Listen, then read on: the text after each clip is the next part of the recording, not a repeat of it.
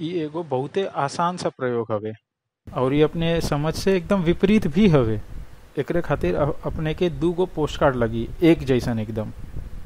अब एगो post card लेके ओकर दोनों छोटका किनारा एक दूसरे से चिपका लें। एगो सेलो टेप से काफ़ी ठीक से चिपकाएँ आप लोग देख सकेनी जा कि ऐसे हम लोग एगो मोटा पर छोटा सिलेंडर बनैले हैं जा। अब दूसर का पोस्ट कार्ड लें और ओकर लंबा किनारा एक दूसरे से जोड़ के ओके सेलो टेप से चिपका लें। एके अच्छा से चिपकाएँ। ऐसे अपन लंबा और पतला सिलेंडर बनी। ध्यान दे कि दोनों सिलेंडर अच्छा से चिपकल भइल हवे, एकदम गोल आकार में। ई दोनों सिलेंडर में से सबसे ज़्यादा मिट्टी कौन सिलेंडर रखी, कैसे पता चल सकेला? एकरे खातिर पतिलका सिलेंडर, मोटका सिलेंडर के अंदर रख लें। ई समझे खातिर